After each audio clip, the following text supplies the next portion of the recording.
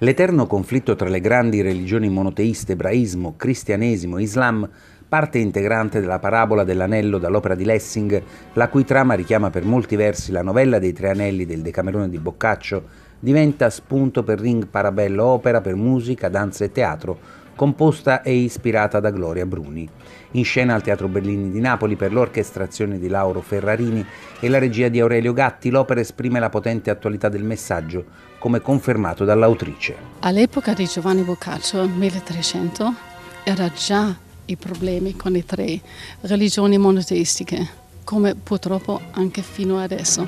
Allora è una cosa così attuale. Nella mia sinfonia non dico neanche con un nome una delle tre religioni, perché pensavo che ci sono il buddismo, anche tutte queste altre religioni, allora è aperto per tutto.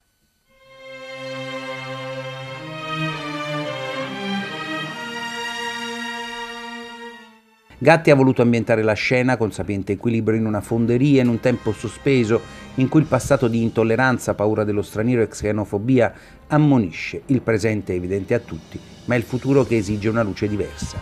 L'urgenza di fare che questo teatro, questa lirica, non fosse sempre un qualche cosa di contestuale alla cronaca, ma contestuale all'uomo, e ci ha portato a dire eh, con Bruni eh, cerchiamo di affrontare non di petto, ma con una lirica, un problema antico, arcaico. L'opera nasce come una sinfonia dalla sapiente esperienza di Gloria Bruni, ma poi si evolve e prova a continuare il suo divenire, come conferma Ferrarini. Dal punto di vista musicale era, era nata come una sinfonia.